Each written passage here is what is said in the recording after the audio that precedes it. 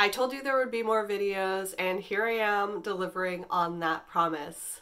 For those of you who are new to this channel, I'm Valerie Geary. I am a writer and a reader. This channel is where I come to spout off about books, writing, storytelling. Whether you're new to the channel or an old friend, I'm glad you're here.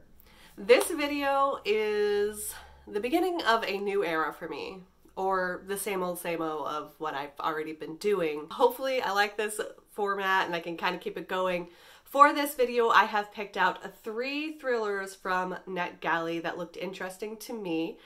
And these thrillers are coming out either later this summer or in the fall. And I wanted to read through them and find out if they were any good, if they were books that you needed to have on your radar or not. Enough chit chat, let's get to the books. I started reading You Can Trust Me by Wendy Heard a couple of days ago. You Can Trust Me is being pitched as a thriller. It's about two young women, Summer and Leo, who are kind of on the road. They're living out of a Land Cruiser. They are con artists. They are friends. They take care of each other. I think Summer sees herself as Leo's protector, kind of like a big sister vibe. They both come from very troubled pasts. I'm not fully 100% clued in onto these troubled pasts yet, but we're getting hints. The book starts out with Summer and Leo at this big club, at this party. Summer is pickpocketing, taking their wallets, taking their money, taking their credit cards. But Leo is out to catch a bigger fish. She is there to meet and date a billionaire. And I've just reached the point where Leo has spent the night with this billionaire and has disappeared. And this is one of those books that I feel like the less you know, probably the better. I'm really being sucked in and drawn into the story in a way that I really like with thrillers, and I'm hoping that continues. We are experiencing a very strange spring here in the Pacific Northwest. The flowers are blooming, the cherry trees are starting to bloom, and yet it is still kind of snowing every once in a while, which is not something that usually happens in the Pacific Northwest. It's April as I'm filming this, the beginning of April, and usually about this time we're getting some good spring summery weather, some 70 degree days, we haven't really gotten that. I've been at this day job now for about a year. A year. It seems like longer. I have found that because of this day job, I've been reading less. And a lot of people who work and do other things, they'll use audiobooks. And I wish I could do that, but with my fiction, I really can't concentrate on audiobooks. So my most recent experiment is to set aside 30 minutes a day. That's it, just 30 minutes to try and get some good reading done. I turn off all devices, sit down, snuggle up with a blanket, a hot cup of tea, set a timer for 30 minutes, and just really dig into the story. So I have a little bit of time right now before I'm gonna go meet friends for like a little yoga session. So I'm going to dive into 30 minutes of this Wendy Heard book. And for whatever reason, I cannot remember the title when I'm not like looking at a screen. You can never tell? Is that what it is? You can hear me. I... a hot tip to publishers really try to nail a title that people remember because this one is not sticking with me. that said, I am enjoying the book quite a bit, so at least I'll be able to talk about it. And I really, I really like the cover. The colors are fantastic. I like the silhouette of the two friends on the front. Obviously, I can't see it as I'm filming this, but you all can see it. and You can see what the title is. Write that down. Order this book. I mean, I don't know. Let me finish it first, and then we'll decide if you should order it or not.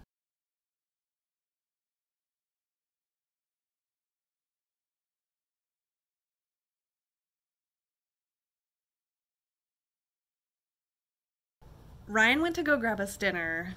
That's so nice of him. So I'm gonna sneak in some reading time. You Can Trust Me. I finally remembered the title. It's giving me some really hardcore White Lotus vibes right now, which I am obsessed with that show, and so I'm a little bit obsessed with this book. The author has done this thing with the narration where she's going back and forth switching back and forth between Leo and Summer, between both the main characters, and we're getting just enough of Leo's point of view. Leo is the woman who has gone missing in Summer's point of view, and we're getting just enough of her storyline to just be like completely freaked out. There is something very wrong going on with this whole story, with these relationships. I just feel like this building dread. I'm almost at the halfway point. I am hoping for some kind of big twist, big turn at that halfway mark. We'll see if I can get there tonight. It's Friday night at 8 o'clock, and I am in my PJs, in bed, getting ready to read You Can Trust Me. And that is how you know you are reading a very excellent book. I am two thirds of the way through this one, and I can't put it down. Obviously, since I canceled all my plans to be here in my snuggly bed with this thrilling book. I think I know where this is headed. Like, I think I know what the twist is, but I am not mad about knowing the twist. And I always assume that there's going to be like one extra little zing at the end. But I do kind of think I know what's happening. I just don't know how it's going to end. The two women in this book are still very much in danger, and I'm still very much nervous for them. And I really am like connecting with both of them as narrators, and I really want them both to end happily ever after in some way. I know thrillers don't normally end happily ever after, but I would like them both to be alive at the end of this book. And right now, I am not entirely sure that's going to be happening.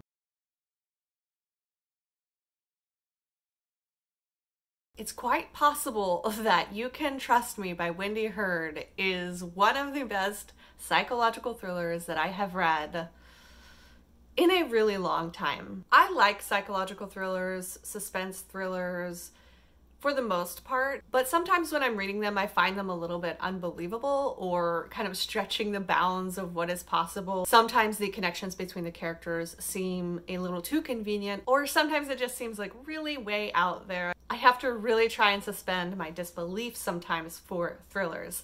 Now, with You Can Trust Me by Wendy Heard, I did not really feel this way at all. I felt it was a very engaging book with very engaging characters. What the author did is something that you see frequently in thrillers where you have dual narrators and a dual timeline. For whatever reason, with this book, it worked so well for me. You have two characters Leo and Summer. They are young women in their, I think, late 20s and early 30s, and they have found each other through a set of circumstances. And basically, they are nomads. They live in a van. They are con artists, pickpockets. They live a life kind of outside of the bounds of society. They're really close. They have a very sisterly bond. They set up this meeting with a very rich man. Leo is supposed to be dating him and conning him and taking him for some of his money. There's a little bit of disconnect between Leo and Summer in terms of what they want for their lives and where they want their futures to go. So we see all of this at the beginning of the book. And then at some point, things just start to tumble completely out of control. These women find themselves swept up in this society of rich people. There are secrets, there's a claustrophobic island, this unsettling feeling of dread. I wasn't sure who, if anyone, was going to survive at the end of this book. I think one of the other things with thrillers that I kind of don't always like is when there are a lot of shocking twists and turns. Don't get me wrong, I do like twists, I do like shocking turns, but sometimes with thrillers it seems like that is only the point of the story. Like, how can I shock the reader? How can I just make it seem so unbelievable and so just like gasp? I kind of like the more character driven thrillers, the thrillers that feel very organic in terms of plot and pacing. And I do think that You Can Trust Me did that pretty well, where I was not only turning the pages because I was desperate to find out what happened plot wise, but also turning the pages to find out how these characters came to resolve some of the issues that had come up at the beginning of the book, and then also if they were going to survive or not. There was a surprising layer of emotional depth to this book that I wasn't fully expecting. And then, yeah, like I said, there were some White Lotus vibes, some creepy rich people getting away with murder vibes. And I think this would be a great book, a great thriller to add to your summer reading stack for sure. I'm admittedly a little bit of a mess right now. I am feeling tired. It's Thursday. I'm about to sit down and try to get some writing done, just like 30 minutes. Then I also want to try and get some reading done. I started a new book a couple of days ago. I haven't gotten very far in it. This book is Come With Me by Erin Flanagan. I read Erin Flanagan's debut novel. I think it was her debut novel, Deer Season. If you're a frequent visitor to this channel, you know that last year I read through the Edgar Award nominees, and Erin Flanagan's first book, Deer Season, was one of the nominees for Best Debut Novel, I think, or Best Paperback First Edition, something like that. And I really really, really love that book. It had a really kind of unique character, unique writing style, and I am excited to dip into another Erin Flanagan book. Come With Me sounds like a book that is right up my alley. It is about two women who have some kind of past history together. They are friends. I'm not entirely sure yet where we're headed with this book. Right now I feel like I'm teetering on the brink of something big and something important.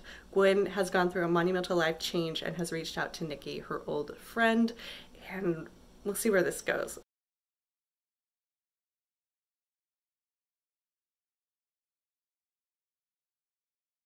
I feel like last night's video was a little bit chaotic. Like I didn't do a very good job describing Come With Me by Erin Flanagan. After I got done recording, I was just kind of like, wow, that was all over the place. I have no idea what I was talking about. It was kind of like a spur of the moment video, which honestly are probably the best kinds, right? So I am back to give you a better description of Come With Me by Erin Flanagan. The book centers around a woman named Gwen. In the very first chapter, Gwen experiences a huge life upheaval. Her husband dies and she is left alone. Now she's a single mother, she's a widow.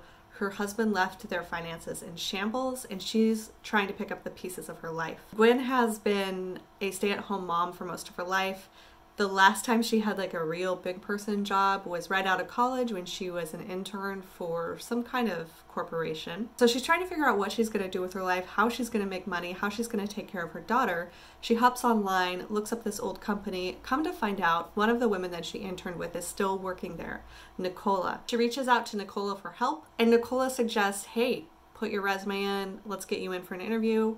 I think I have a job for you. Nicola's being very nice, she's being very generous, and yet there's something just a little bit off about her. As the reader, we especially see that because we are getting glimpses of Nicola. Nicola?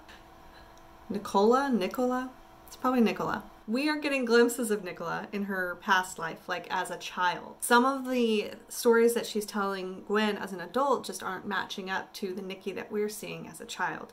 There are some gaps in the story, some lies even. Right away, I'm thinking something is off about this woman. Gwen better watch her back. This does feel more like a slow burn thriller. The book is definitely building to something. Every chapter gets a little bit more tense.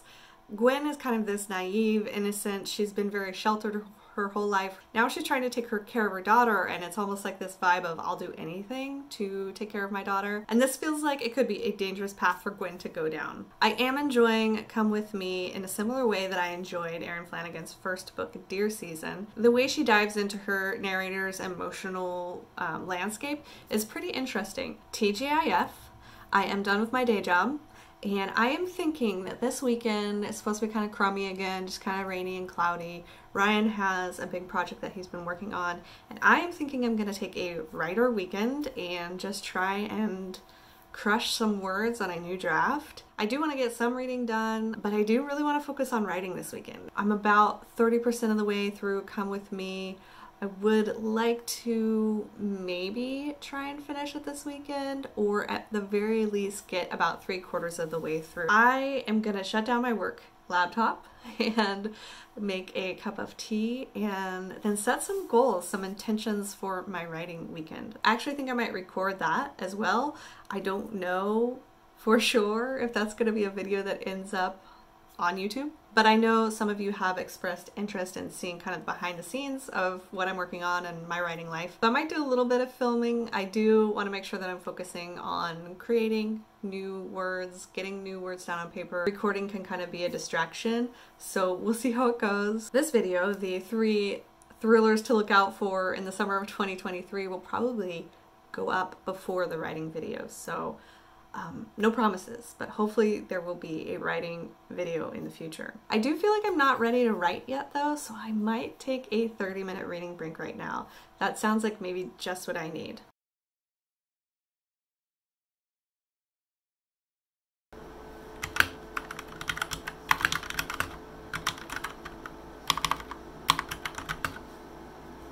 It's Saturday night. I have spent most of today writing I wrote like 8,000 words, over 8,000 words today,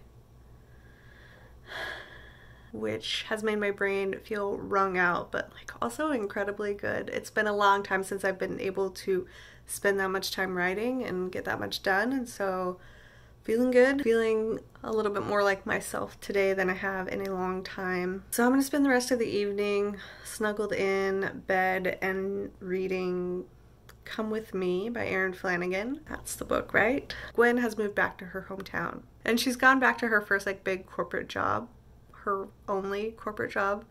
And I'm a little cringy for her, just kind of watching her try to fit in and figure out the rules. And I still don't really trust her friend Nicola. Something shady is going on there. I'm almost at the halfway point, kind of hoping that something picks up here soon It's not that I'm not enjoying it, I very much am. Still a bit of a slow burn. I'm three quarters of the way through Come With Me, and this book has gotten under my skin. It is so creepy, and also I just can't stop thinking, like, at that thing coming on my head. it's the curtains. Oh. Who can we ever really trust in this world? Do we really know our friends? Like, are people just being nice to us for ulterior motives because they're all psychopaths? Yeah, this book is creeping me out, but like in a very subtle way. One of those slow, creeping, insidious books that just gets under your skin and you're just wondering who is the bad guy here? Is it the narrator? Is it the narrator's friend? Is it no one? Is it all just one big misunderstanding? That was a twist that I did not see coming. The ending of Come With Me by Erin Flanagan blew me away. I had this idea of where I thought the book was headed, and then it kind of went in a similar direction, but in a way that I wasn't entirely expecting. And so, you know, kudos to Erin Flanagan for surprising me. I ended up really loving this book. It was a bit of a slow start for me, and it kind of took me a little while to get used to the characters. Both of them were kind of intolerable in places. Gwen was a bit of a wet blanket, but for reasons that were perfectly understandable and I empathized with her. And Nicola was just manipulative and mean at times and just creepy vibes. But then also, the more you learn about her, the more you sympathize and empathize with her. It was a very interesting thriller in terms of how the story unfolded. The more I think about this book, the more I think it would make a great book club book for people who are looking for a thriller that is accessible and maybe not as intense or filled with violence as some of the other thrillers that are out there. There weren't a lot of like triggering themes in this book, not a lot of content warnings that I would give. It was fairly straightforward as a character study, but with kind of a good, intense pacing of the plot, a lot of good secrets and mysteries and twists to be revealed. Obviously, it is a thriller, so there were some aspects of violence and harassment and that kind of thing. But I think that Erin handled it in a way that would be really accessible to most readers. So I think that if you're in a book club and you are looking for a psychological suspense, a psychological thriller, something that would keep the readers in your group on the edge of their seats, I think this would be a good one to recommend. It also has a lot of different layers and different things that could be talked about in a book club, including the different characters, their pasts, the things that they have gone through. There are elements of grief. There's mother child aspect. There's the toxic female friendship again, similar to You Can Trust Me, Come With Me, had two main character female friends Obviously, very different tone, very different style, very different friendship, but similar in the way that we were looking at two women navigating the world and navigating their losses and their traumas. Yeah, a lot to discuss with this one, a lot to unpack with this one. I thought this was a great book. I think this is a perfect summer thriller for your book club. We are having the most lovely stretch of summer like weather, and of course, I caught a cold right when the nice weather happened. But I'm still trying to enjoy it. I'm outside on my back porch enjoying the finely warm temperatures and finely sunny skies.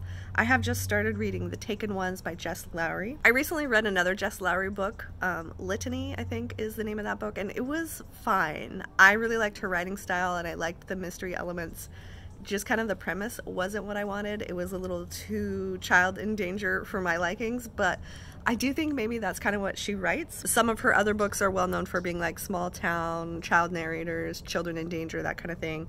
And this one that I just started, The Taken Ones, I think may end up being kind of a similar thing, except for the narrator is an adult right now. I'm not very far in this story, admittedly, so I don't really know a whole lot yet about what's going on there was this very terrifying prologue of these three girls going into the woods to have like a picnic and go to a swimming hole and then they see something that terrifies them and we don't know what happens.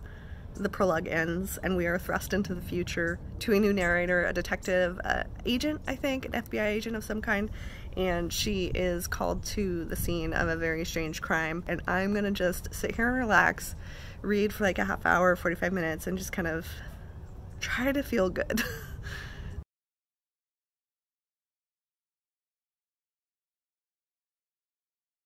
I definitely think I'm going to love this book. I mean, I'm still pretty early in, but this is like my jam kind of a book. So, The Taken Ones is referencing some children who were abducted in the 1980s.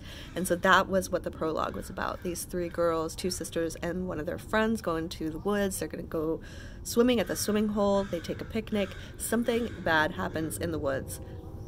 These crows are loud today. Cut forward 30 years or so. And our narrator is Van. She has recently moved to work at the Bureau of Criminal Apprehension in Minneapolis. Before that, she was working for the Minneapolis Police Department.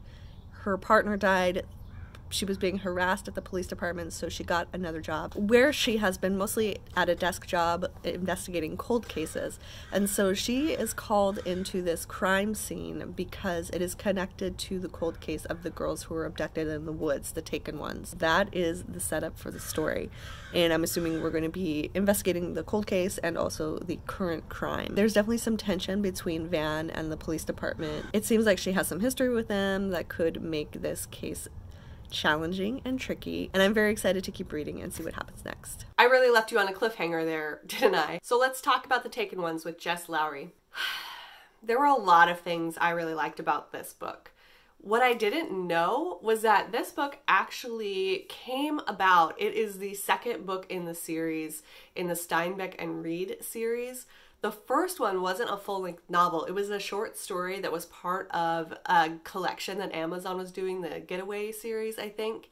And Jess Lourey wrote a short story for that called Catch Her in a Lie. And it featured a detective, Detective Van Steinbeck, and her partner Harry Reed, and they are part of the Bureau of Criminal Investigations or something like in Minneapolis. But they are tracking this woman who is a suspected serial killer down in Costa Rica, some jungle city, I believe. And I didn't realize when I started the Taken Ones that that short story kicked off this series. That short story came before the full length novel. I just went into the novel not really knowing what I was getting into. And I really, really loved the partnership between Harry and Van, the two detectives in this book. They both had very unique personalities. Van is a morally gray, complicated detective with a lot of layers to her personality, a lot of history and backstory that we do get to see a lot of in The Taken Ones. Some of it came from the short story, some of it seems like it's still going to be developed within the series. There also seems to be secrets about Harry, who is the forensic pathologist, I think, in this book. Secrets that we didn't uncover in this book, but that may come up in future books. So, in that aspect with the characters, I really love this book. I liked the cold case mystery style of it. I do love a good cold case. And this one featured around some girls who had gone missing in the woods about 20 to 30 years before the story starts. And then a current case comes up, and there are some similarities, some connections between that cold case. So Van and Harry are working on the cold case. They have some issues with the Minneapolis Police Department. The investigation is uh, difficult for them. And there was also an unexpected paranormal psychic element with these characters that I wasn't fully expecting, but that I did enjoy. I was feeling very hopeful about this book and about this as the start of a new detective series until we got to the reveal of the bad guy, the villain in this book. So I'm going to go ahead and say spoilers here.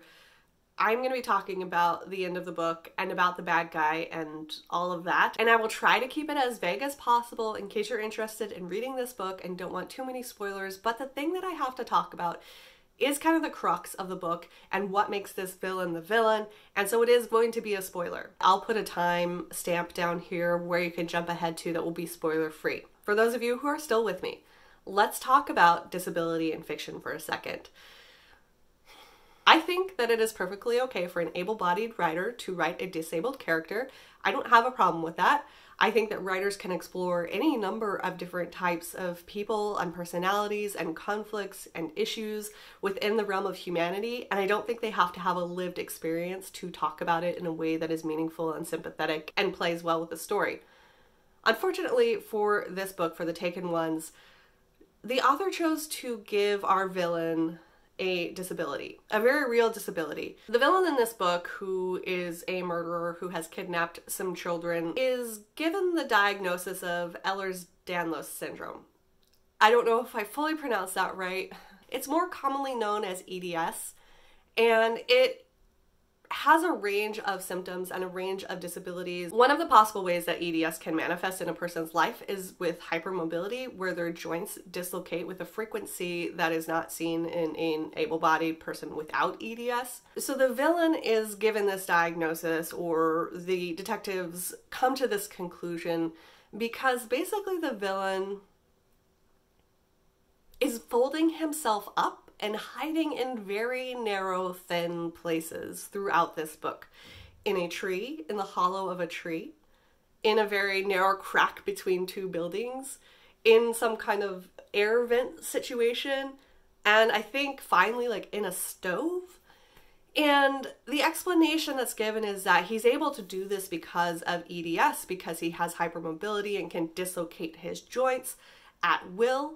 And again, I don't have a problem with able bodied writers writing disability, but this is following the cliche and the stereotype and the trope of disability equals villain, disability equals monster, disability equals grotesque, freak show, that kind of thing, which I don't like to see in a book, which I think is problematic in a book. I have a friend who writes. Um, she writes amazing books and she also lives with EDS and has lived with this disability for the majority of her life. I don't have EDS. I don't know what it's like to live with it. I don't even really know a lot from her perspective because EDS is not the only thing that defines her. It's not the only thing that we're talking about when we get together. We talk about a lot of things. There's a lot going on in her life. I'm pretty sure she can't fold herself up into small places, nor would she want to. From my talking with her and spending time with her, EDS with hypermobility, the dislocation of joints, is a very painful thing. And so it was frustrating to read this book where we have this monstrous villain who is using his disability in kind of an almost freakish paranormal way. And I don't know, it was like this X Files vibe almost, except for the author chose to use a very real disability that real people live with and experience on a daily basis, there just wasn't a lot of sympathy and care taken with how EDS was discussed and described in the book. And so that was just kind of really disappointing for me. The language when they were talking about the villain was, you know, things like monster and grotesque and horrifying and fear and panic. And yes, he's a bad guy, he's dangerous. But it was almost like equating the two. He's dangerous because he has EDS. EDS caused him to be a villain and I think that's where the author went wrong with including disability in this book. As much as I was enjoying the mystery aspect of this book and the detectives and the way they were playing off of each other, I feel like I can't really recommend this book because of the way that the disability, the EDS, was handled. So, back to my friend Elle, who is the one who lives with EDS. She wrote a book recently. It just came out um, like a month ago, two months ago. I don't know what time is. It's called Another Elizabeth. This is by Elle Mitchell. And in this book, we have another villain who has EDS, who lives with EDS. So it's not the fact that a villain has a disability that's bothering me. It is how the author handled that villain, the layers that they gave or didn't give in the case of the Taken Ones. Another Elizabeth features a villain who has EDS. She lives with EDS, but she is a complicated, layered character who also has a lot of other things going on in her life. This is a serial killer book. It is violent. There are gruesome scenes in here. And there's also this like layer of humanity where we watch this woman moving through her life with her disability while also trying to figure out who she is as a serial killer, but also as like a human in the world. And like there's complexity here and depth and care. And yes, I think part of this is because Elle Mitchell lives with EDS, and so she has that insight and is able to bring that care into this book, into her characters. So, honestly, if you're looking for a book with a villain who has a disability, specifically EDS, I would recommend Another Elizabeth and skip the Taken ones altogether. They have very different tones. Again, Another Elizabeth is very dark, very twisted. If you have issues with like body horror, maybe don't read it. Content warning. It's a serial killer book. And then the Taken Ones is very like police procedural, detective. There's obviously some gruesome things in there as well. I just Can't in good conscience recommend a book where the disability was handled so poorly. Alright, so two out of three of the thrillers that I picked at the beginning of this video I loved. That is not a bad summer reading plan if you ask me. Plus, you got a bonus recommendation of another book, another summer thriller you could put on your list. I hope you enjoyed this reading vlog, this kind of style. This is kind of the direction that I'm going to be taking the channel in at least for now until I completely change my mind again. But yeah, I'm gonna kind of be focusing on three to four books in a vlog, all kind of centered around a, the same theme or similar styles or same author, anything really anything that like pairs well together or maybe even clashes. So if there are any fun themes that you would like me to explore in the coming months, if there are any books that you think I must read and include in a reading vlog, leave it in the comments below. Also, let me know what summer thrillers you are looking forward to this year. Thanks for watching. I'll see you next time.